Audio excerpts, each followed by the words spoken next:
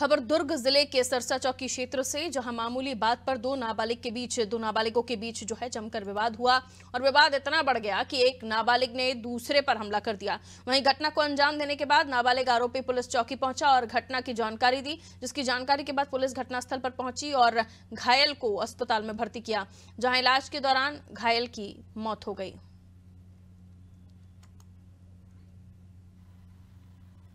चौकी जेवरा का ही ये मामला है। बीती रात एक परिवार में शादी का कार्यक्रम था। उसी कार्यक्रम में जो मृतक था, वो वहाँ पे उपस्थित था और साथ ही जो आरोपी गण थे, वो भी एक दूसरे को जानते थे और इनके बीच में खाने की चीज़ों के लिए कुछ कुछ विवाद हुआ था। इसके बाद ये आपस में मिले रात में, कहीं पे फिर जाते जाते इन लोग के बीच में फिर से उस बात को लेकर विवाद हुआ और इसी विवाद के कारण फिर वो